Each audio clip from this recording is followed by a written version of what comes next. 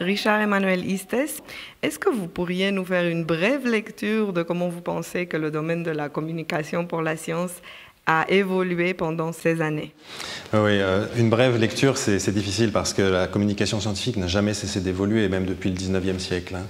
Euh, en plus, ça dépend des pays. Moi, je viens de la France, où il y a une, une, dimension associative de la culture scientifique qui est très développée, et donc un fort accent sur les relations sciences-société, la gestion des controverses sociotechniques, euh, etc.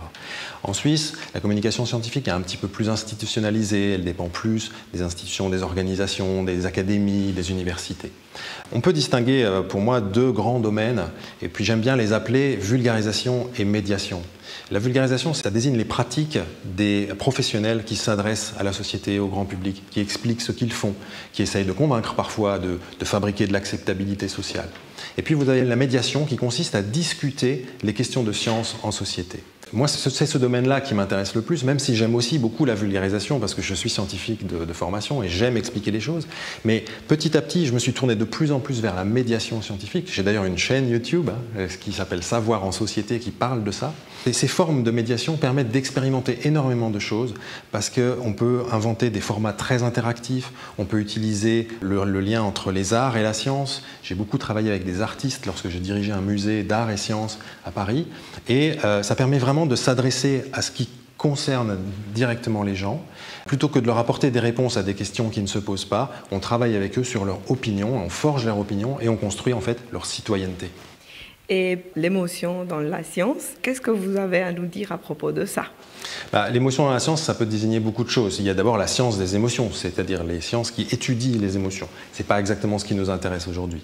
Ce qui est plus intéressant pour nous aujourd'hui, c'est l'émotion dans la science. Et là, il y a à nouveau deux choses possibles. C'est l'émotion des gens qui reçoivent la science, et c'est l'émotion des gens qui font la science. En fait, on a tendance à penser que la science, c'est très neutre, c'est très froid, etc. La science, oui, mais pas les chercheurs et les chercheuses qui la font. Il n'y a aucun chercheur, aucune chercheuse qui ne va pas dans son laboratoire avec de l'émotion, soit avec de la peur, soit avec de l'ennui, soit avec euh, la, la, ferveur de la découverte. En fait, la recherche, c'est une aventure et il y a énormément d'émotions, il y a énormément de valeurs aussi qui transparaissent, de valeurs personnelles.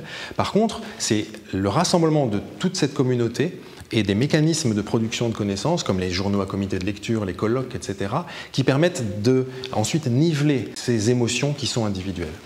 Vous donnez envie de faire ce métier Qu'est-ce que vous avez comme message pour des jeunes chercheurs ou scientifiques qui aimeraient s'y lancer? C'est vraiment un métier extraordinaire, mais je crois que ce qui est important, c'est d'apprendre à faire ça. Moi, j'ai commencé comme jeune chercheur avec beaucoup d'enthousiasme, beaucoup de passion. J'étais chimiste, je voulais convaincre que la chimie c'était bien, etc.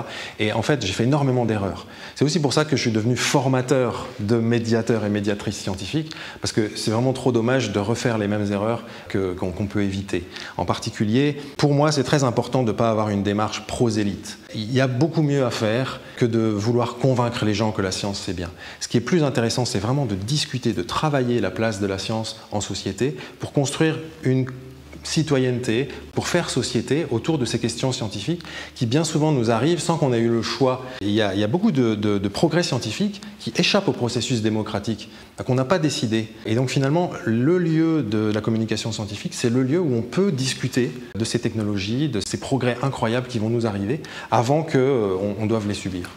Richard Emmanuel Listes, merci beaucoup pour cet entretien. Merci à vous.